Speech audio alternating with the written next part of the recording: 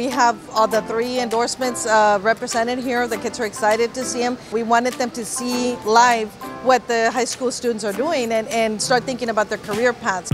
I really like the the the graphic design one. Like you could design a bunch of stuff on the computers. And personally, I'm really into art. Like I just I like drawing. I love to be prepared. It's some uh, like I want to feel prepared when, I, especially when I'm going to college. Um, it's a big thing. So to be here and look at all of these different things, it's just amazing to see and to know that there's that all of these different classes to prepare you for what you want to be. Or even if you don't know what you want to be yet, you can still, they, it's giving you an idea of what you can do. We can offer so many different opportunities for the students. McAllen ISD is the best.